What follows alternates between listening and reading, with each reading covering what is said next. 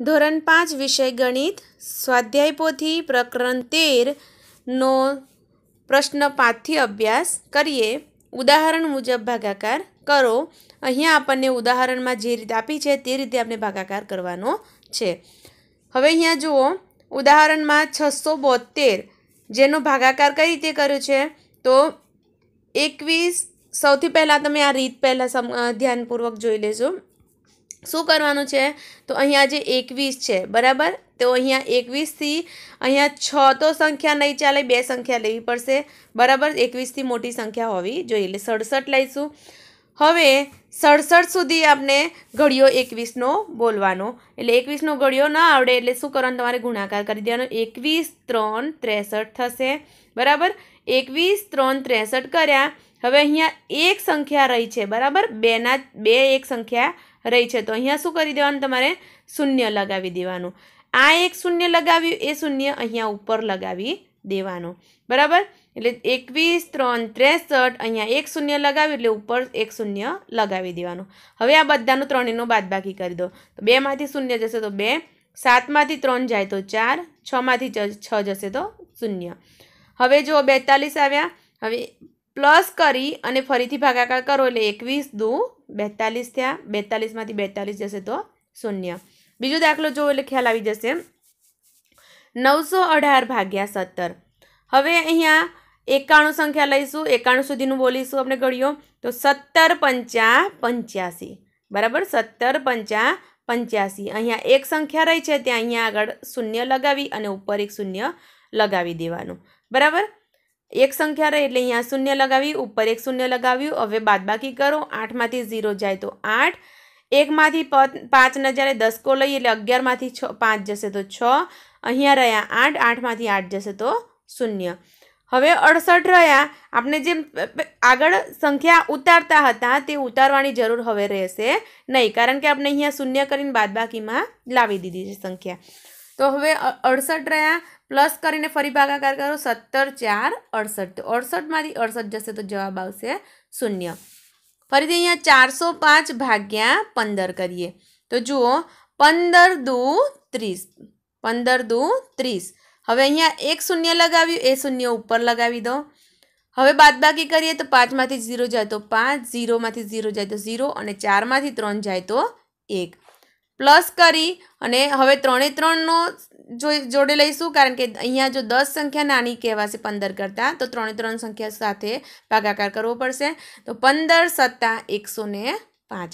તો એકસો પાંચમાંથી એકસો પાંચ જશે, તો જવાબ મળશે શૂન્ય. તો ઉપર જે વીસ વત્તા સાત રહે છે, એ શેષ કહેવાય છે. બરાબર? સોરી સોરી ભાગફળ મળ્યું કહેવાય. અહીંયા પચાસ વત્તા ચાર, એ પણ આપણને જવાબ ભાગફળ મળ્યું કહેવાય છે. એટલે પચાસ ને ચાર, ચોપન. ત્યાર પછી આગળ જુઓ, હવે ત્રણ ત્રણ વખત સરવાળો કરવો પડે છે. કઈ રીતે થશે? નવસો પચીસ ભાગ્યા, આપણે સીધો હું છ નંબરનો દાખલો ગણાવું છું. વચ્ચેના દાખલા તમારે જાતે ગણવા રહેશે, સેમ રીતથી જ. એટલે વચ્ચે વચ્ચેના દાખલા હું તમને સમજાવીશ. તો નવસો પચીસ ભાગ્યા પાંચ, તો પાંચ એકા પાંચ. હવે જો આ પહેલી જ સંખ્યા પાંચ કરતાં મોટી છે, તો પછી બે સંખ્યા લેવાની નહીં, આ ખાસ ધ્યાન રાખવાનું. એટલે પાંચ એકા પાંચ. હવે અહીંયા મેં બે શૂન્ય લગાવ્યા. બે સંખ્યા હતી, તો અહીંયા શું કર્યું? બે શૂન્ય લગાવ્યા, તો ઉપર પણ બે શૂન્ય લગાવી દેવાના. બરાબર? હવે બાદબાકી કરીએ, પાંચમાંથી ઝીરો જાય તો પાંચ, બેમાંથી ઝીરો જાય તો બે, નવમાંથી પાંચ જાય તો ચાર. હવે જો પાંચ કરતાં ચાર નાના છે. તો આપણે બે સંખ્યા લેવી પડે. તો બેતાલીસ સુધી આપણે પાંચનો ગળિયો બોલવો પડશે. તો પાંચ આઠ ચાલીસ. પાંચ આઠ ચાલીસ. પાછળ એક શું કર્યું? એક શૂન્ય લગાવવું પડ્યું તો અહીંયા ઉપર એક શૂન્ય લગાવી દો. હવે બાદબાકી કરીએ. પાંચમાંથી ઝીરો જાય તો પાંચ, બેમાંથી ઝીરો જાય તો બે અને ચારમાંથી ચાર જાય તો શૂન્ય. હવે પચીસ રહ્યા. પાંચના ઘડિયામાં પચીસ આવે છે. પાંચું પાંચું પચીસ. તો પચીસમાંથી પચીસ જશે તો શૂન્ય જવાબ થયો. તો સરવાળો ઉપરનો કરો. સો વત્તા એંસી વત્તા પાંચ એટલે એકસો ને પંચ્યાસી જવાબ મળ્યો આપણને. આગળ ફરી બીજો એક સાત નંબરનો દાખલો જુઓ. પહેલી સંખ્યા છે છ, એટલે પાંચ એકા પાંચ જ કરીશું. આ સંખ્યા મોટી છે તો તો પાંચ એકા પાંચ લખીશું. પાછળ કેટલા શૂન્ય લગાવ્યા? ત્રણ સંખ્યા છે, ત્રણ શૂન્ય લગાવ્યા, તો ઉપર પણ ત્રણ શૂન્ય લગાવી દેવાના. હવે બાદબાકી કરીએ તો પાંચમાંથી ઝીરો જાય તો પાંચ, બેમાંથી શૂન્ય જાય તો બે, સાતમાંથી ઝીરો જાય તો સાત, અને છમાંથી પાંચ જાય તો એક. હવે એક સંખ્યા નહીં ચાલે, બે સંખ્યા લેવી પડશે. બરાબર? એટલે સત્તર સુધીનો આપણે ઘડીઓ બોલીશું. તો પાંચ, ત્રણ, પંદર. પાંચ, ચાર, વીસ વધી જાય એટલે પાંચ, ત્રણ, પંદર લઈશું. પાછળ બે શૂન્ય લગાવ્યા તો અહીંયા ઉપર બે શૂન્ય લગાવી દો. હવે બાદબાકી કરો. પાંચમાંથી ઝીરો જાય તો પાંચ, બેમાંથી ઝીરો જાય તો બે, સાતમાંથી પાંચ બે જાય તો બે, અને એકમાંથી એક જાય તો શૂન્ય.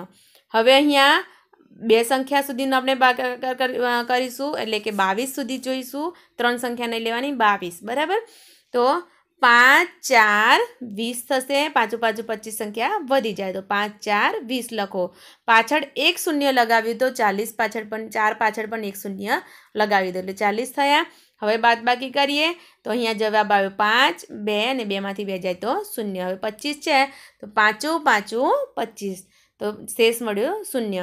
હવે આ ત્રણેયનો સરવાળો કરી દેવાનો સો એક હજાર વત્તા ત્રણસો વત્તા ચાલીસ વત્તા પાંચ. તો એક હજાર વત્તા ત્રણસો તેરસો તેરસો વત્તા ચાલીસ, તેરસો ચાલીસ અને તેરસો ચાલીસ વત્તા પાંચ. તેરસો ને પિસ્તાળીસ જવાબ મળ્યો. આ રીતે ઉપર જે ભાગફળ મળે તેનો સરવાળો કરી દેવાનો. આગળ નવ નંબરનો દાખલો જોઈએ. નવ હજાર ત્રણસો ચોર્યાસી ભાગ્યા ચાર. હવે પહેલી સંખ્યા જ આપણે મોટી છે, બરાબર? તો પહેલી સંખ્યાને ધ્યાનમાં લઈશું. કેટલી સુધી ઘડીઓ બોલીશું? ચાર દુ આઠ. ચાર ત્રણ બાર વધી જશે તો ચાર દુ આઠ. હવે અહીંયા પાછળ ત્રણ શૂન્ય લગાવ્યા તો આપણે ઉપર પણ ત્રણ શૂન્ય લગાવી દેવાના. હવે બાદબાકી કરવાની, ચારમાંથી ઝીરો જાય તો ચાર, આઠમાંથી ઝીરો જાય તો આઠ, ત્રણમાંથી ઝીરો જશે તો ત્રણ, અને આઠમાં, નવમાંથી આઠ જશે તો એક રહ્યો. હવે પ્લસ કરી આગળ શું કરશું? અહીંયા બે સંખ્યા લેવી પડશે, બે સંખ્યાને ધ્યાનમાં લેવી પડશે, એક નાની છે તો. તો અહીંયા ચારનો ઘડિયો કેટલે સુધી બોલીશું? તેર આવે ત્યાં સુધી તો ચાર, ત્રણ, બાર. ચોખ્ખું ચોખ્ખું સોળ વધી જશે. પાછળ બે શૂન્ય લગાવ્યા તો ઉપર પણ બે શૂન્ય લગાવી દો. હવે અહીંયા રહ્યા ચાર, આઠ, ત્રણમાંથી બે જાય તો એક, એકમાંથી એક જાય તો શૂન્ય. હવે અહીંયા પણ બે બે સંખ્યાને પહેલાં ધ્યાનમાં લેવાની, બરાબર? તો ચાર ચોક સોળ થશે, એક શૂન્ય પાછળ લગાવી દો, ઉપર પણ એક શૂન્ય લગાવી દો. ખાસ ધ્યાન રાખવાનું. અહીંયા પાછળ જે સંખ્યા બાકી રહી, તેનું જે શૂન્ય લગાવીએ તે ઉપર લગાવી દેવાનું. ચારમાંથી ઝીરો જાય તો ચાર, આઠમાંથી છ જાય તો બે, એકમાંથી એક જાય તો શૂન્ય. ચાર, છ, ચોવીસ. એટલે શેષ મળી શૂન્ય. આ ત્રણેયનો સરવાળો કરો તો જવાબ કેટલો મળ્યો? બે હજાર ત્રણસો ને છેતાળીસ. ત્યાર પછી આગળ પ્રશ્ન છ છે. ઉદાહરણ મુજબ ભાગાકાર કરો. અહીંયા આપણને કહ્યું છે, કોઈ પણ રીતે, એટલે બંનેમાંથી તમને જે રીત હવે જે અનુકૂળ હોય, તે રીતે તમારે ભાગાકાર કરવાનો છે. પહેલાં શું શીખવાડ્યું? આપણે સંખ્યા એક એક ઉતારવાની. બરાબર? અને ત્યાર પછી આપણે શીખ્યા અહીંયા ભાગાકારમાં ઝીરો ચડાવવાનું. બંને રીતમાંથી તમને જે પણ રીત વધારે સરળ લાગી હોય, તે રીતે તમારે દાખલાની ગણતરી કરવાની છે. બરાબર? ગમે તે બંનેમાંથી જે પણ રીત કરી શકો. તે અહીંયા કોઈ પણ રીતે જણાવેલ છે. પરીક્ષાની અંદર તમને કહેવામાં આવશે જે ઉદાહરણ આપ્યું હશે તે પ્રમાણે તમારે દાખલાની ગણતરી કરવાની. જે ઉદાહરણ આપ્યું હોય તે પ્રમાણે તમારે ગણતરી કરીને બતાવવાની છે. તો જુઓ, આ પ્રમાણે મેં અહીંયા એક દાખલો અહીંયા ઝીરો લગાવવાની રીત કરી છે. ઉપર ચડ અને આ રીત એક સંખ્યા ઉતારવાની કરી છે. બરાબર? બંનેમાંથી તમને જે રીત અનુકૂળ આવે તે રીતે તમે દાખલાની ગણતરી કરી શકો છો. તો અહીંયા મેં વચ્ચે વચ્ચેના એક એક દાખલા ગણ્યા છે. ત્યાર પછીના બીજા બધા દાખલા તમારી જાતે પૂર્ણ કરવાના છે. અને પ્રશ્ન સાત, ભાગાકાર કરો તથા ભાગફળ અને શેષ મેળવો. તો અહીંયા આપણે ભાગાકાર અહીંયા કોઈ જ જણાવેલ નથી કે કયા ઉદાહરણ પ્રમાણે કઈ રીતથી કરવાનો છે. તો આપણે ભાગાકાર તમે સર જે રીત સિમ્પલ રીત છે તે રીતે રીતે પણ કરી શકો છો. બંનેમાંથી ગમે તે રીતે તમારે ભાગ, ભાગાકાર કરી, ભાગફળ અને શેષ મેળવવાનો છે. વીડિયો ગમ્યો હોય તો લાઈક કરજો, શેર કરજો, સબસ્ક્રાઈબ કરજો. આભાર. Thank you.